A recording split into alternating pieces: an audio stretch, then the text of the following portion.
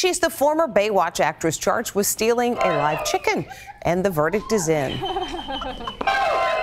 The jury has reached a verdict in the trial of former Baywatch babe, Alexandra Paul. She was charged with stealing, of all things, a live chicken. Yes, Paul went from running in a red swimsuit along Pam Anderson on Baywatch to running with chickens.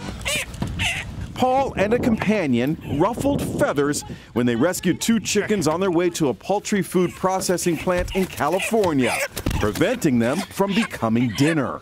A getaway car was on standby for Paul, her accomplice, and the squawking chickens. It's okay. You're okay. Next thing Paul knew, she was charged with misdemeanor theft.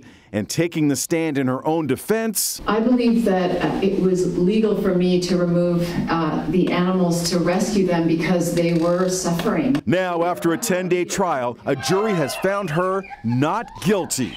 Paul left court to a chorus of cheers. Were you ever nervous during this trial that uh, it might not go your way? Most of the time, the factory farms don't press charges because they're really concerned about information coming out in court. And so I was very happy just to be in court in the first place. The great chicken caper could have landed her behind bars. You were facing up to six months in jail. Were you concerned? No, I was not concerned at all. And I just had to ask Would you do it again? Oh, yes, I'll be back. Paul's co defendant was also found not guilty.